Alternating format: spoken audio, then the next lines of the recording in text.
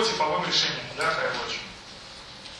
Как мы видим то, как он, скорее всего, будет использоваться да, в, тех, а, в том бюджетном сегменте, на тех небольших рынках, да, куда мы планируем его внедрять. То есть это, например, типовое решение небольшого офиса. Решение на 6 камер.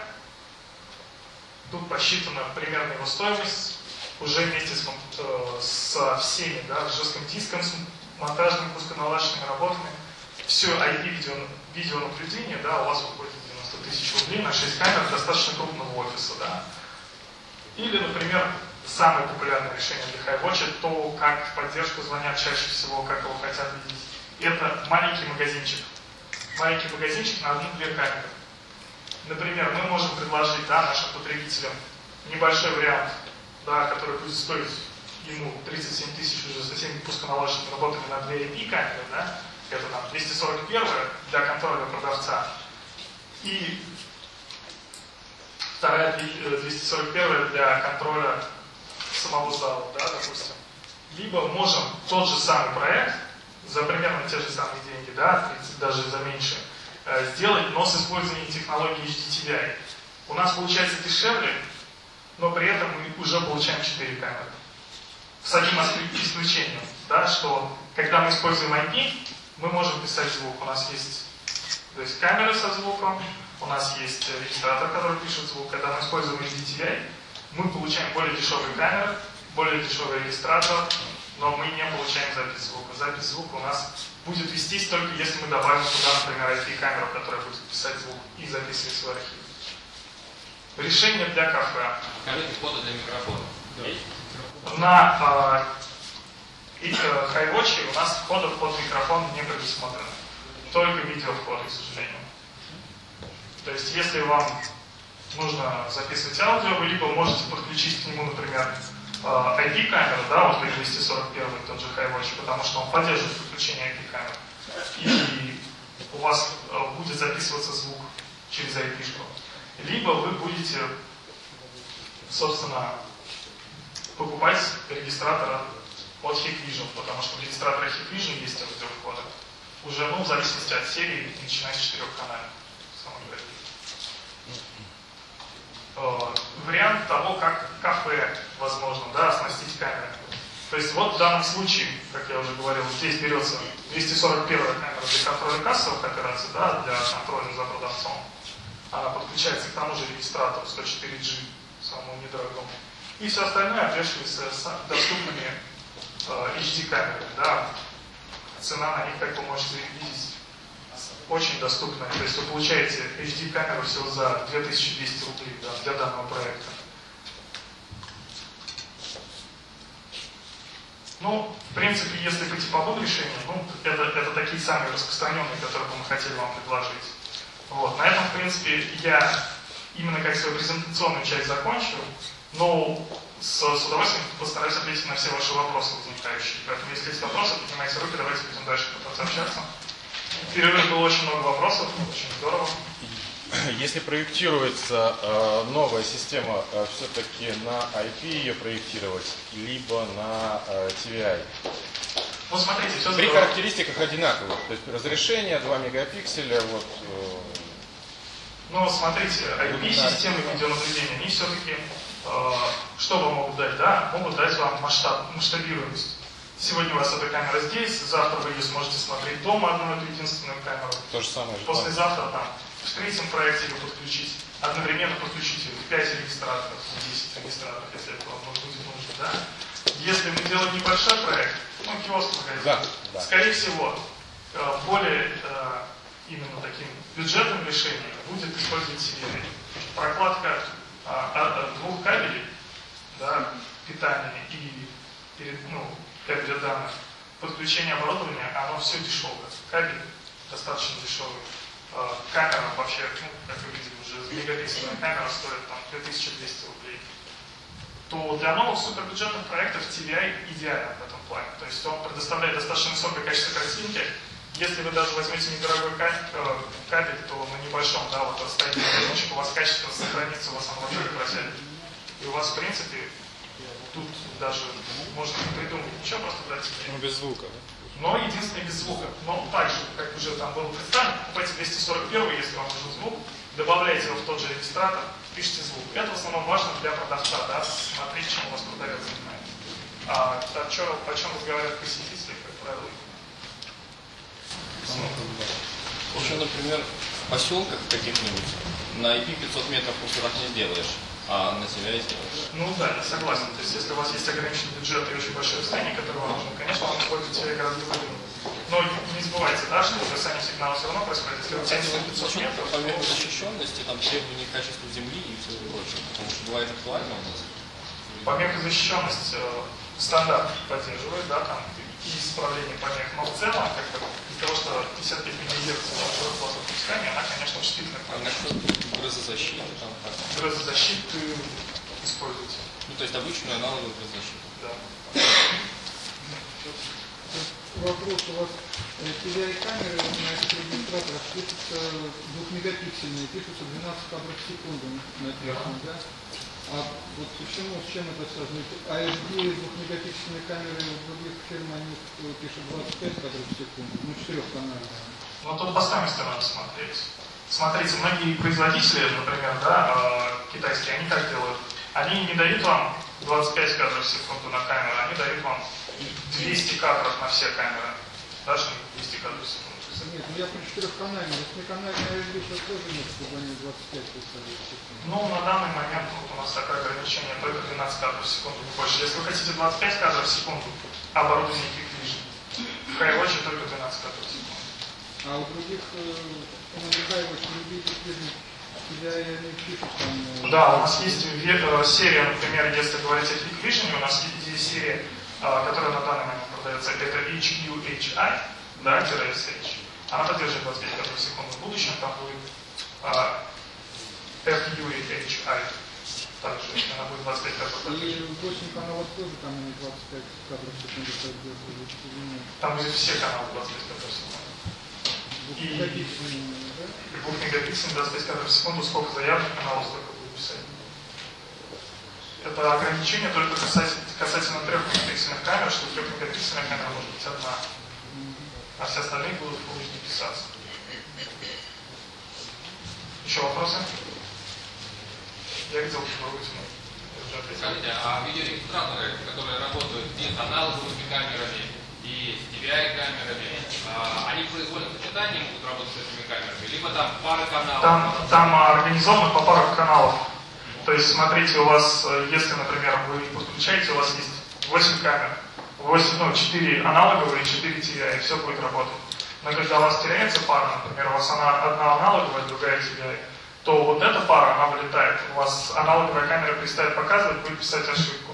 Он будет писать, что каналы должны быть одинакового источника. Ну, то есть источник сигнала должен быть один и тот же. Это единственное ограничение. То есть, по сути, попарно должен включаться сигнал первый, второй, третий, четвертый, пятый, шестой по номерам. Про, про open platform. А Open платформа, она доступна только для Hikvision. Есть специальные прошивки по требованиям, да, если у вас есть проектное решение, для которого это необходимо, как мы, например, сделали для Ростелекома. Э, Мы делаем с вами вместе проект, мы реализовываем вам, продаем камеры, перепрошитые под Open платформу. То есть э, такие прецеденты уже были, это уже делается. То есть, ну там надо заключать соглашение, Да, договор? конечно, конечно. Просто так никто такие прошивки не дает.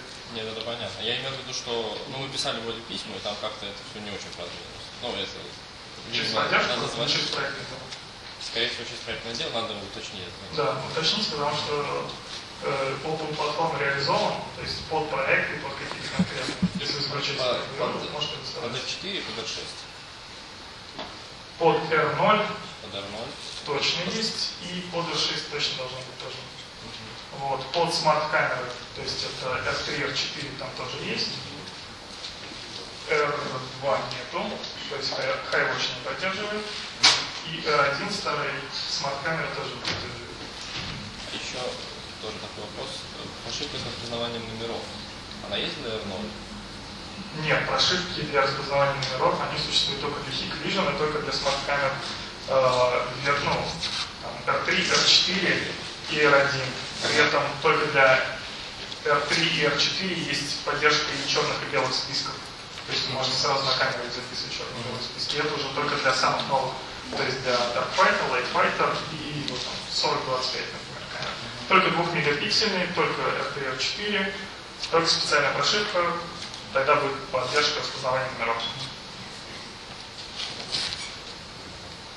У вас свое производство макро или берете э, у кого-то?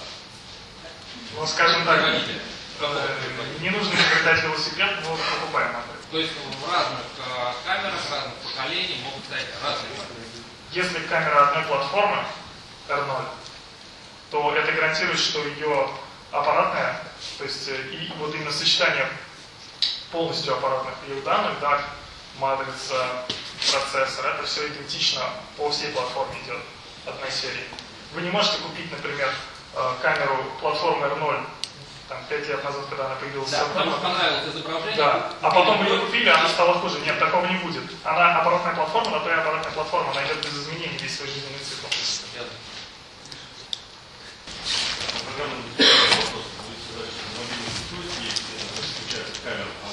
А. Регистраторы также поддерживаются, то есть у нас все оборудование, оно работает на основе одного протокола. Протокол у нас проприетарный, называется Hikvision, да?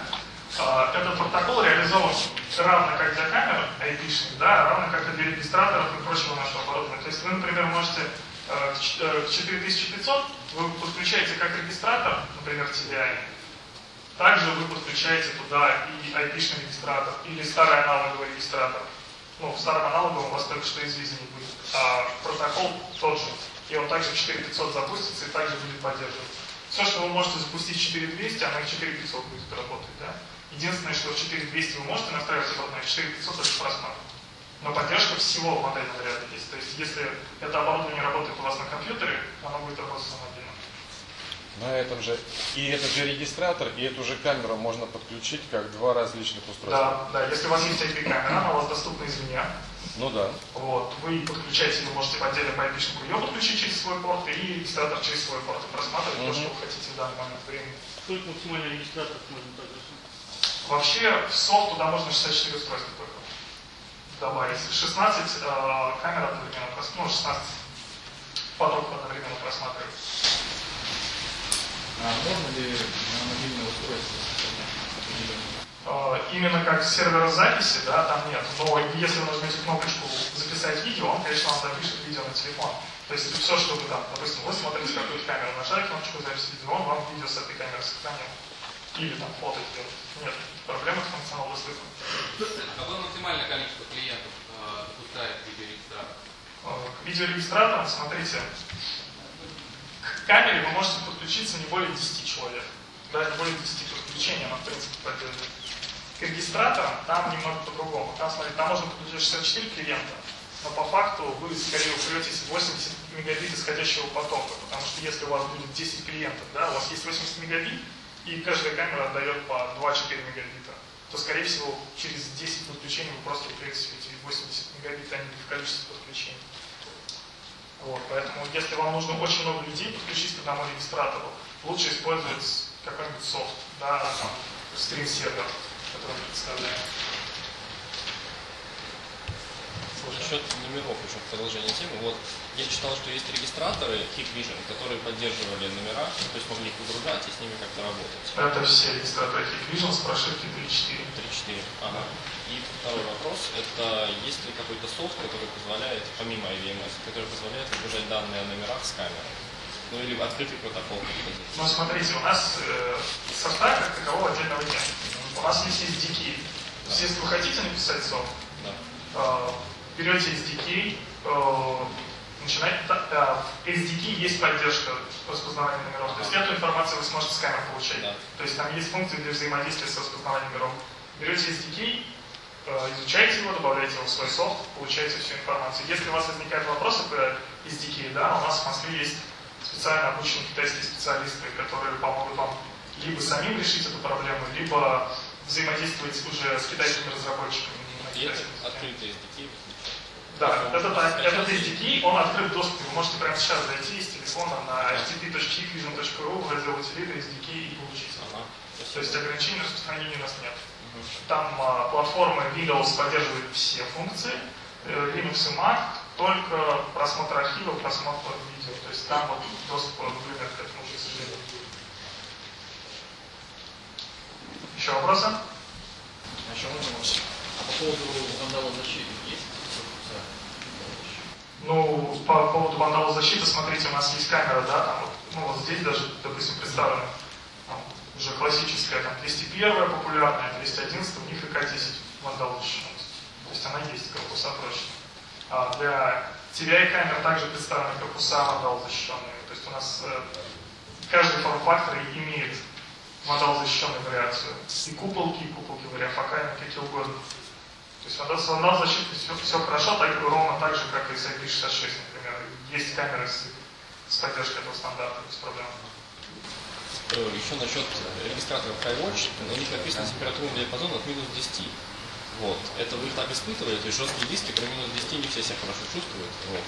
В связи с этим вопрос. Ну, регистр- регистратор регистратором, как бы, если вы добавляете сюда свой компонент, такой как жесткий диск, вы уже А отталкиваетесь от наименьшего. Рекомендованные жесткие диски у нас, конечно же, наш партнер ВД. Ага. То есть Western Digital, их серия Purple рекомендую. У нас э, нету, по-моему, просто, например, Seagate, но есть некоторые серии, которые точно известно, что Skywatch не работают. Некоторые серии терабайтных жестких дисков, Surveillance работает? вот, у них там есть, по-моему, 2000 серия СВ, которая не заводится Skywatch.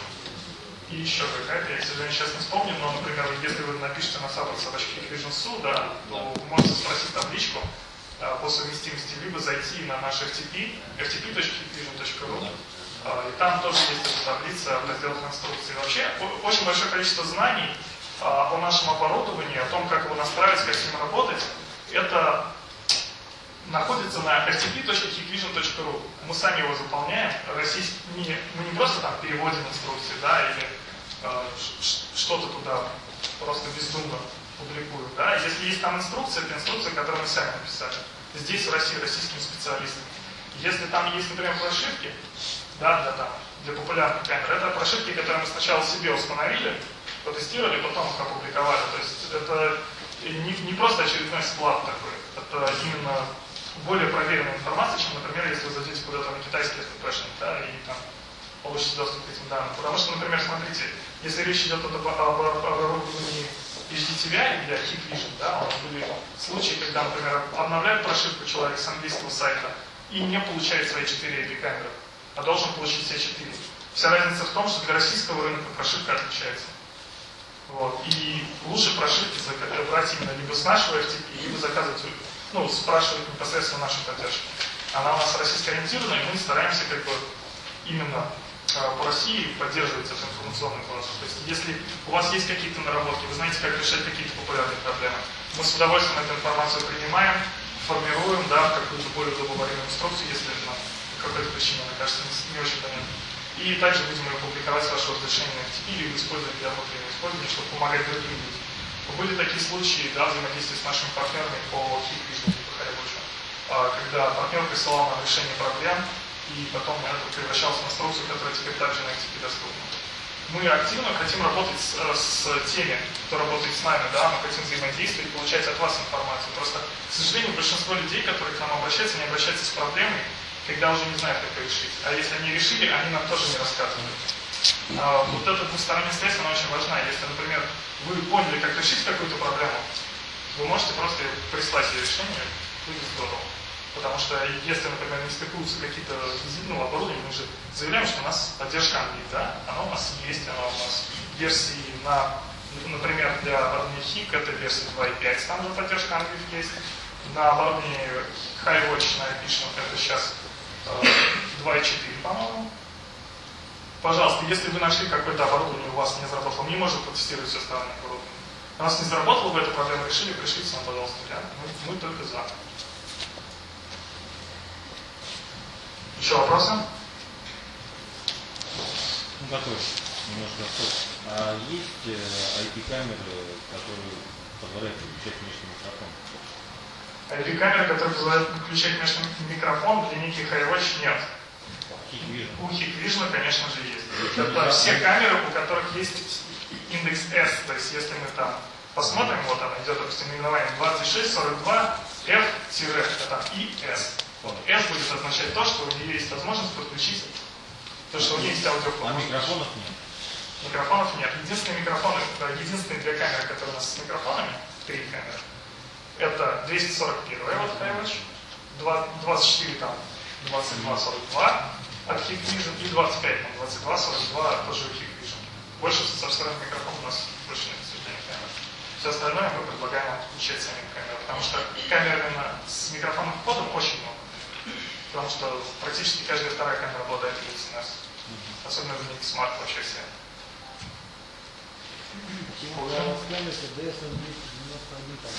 Да, была такая.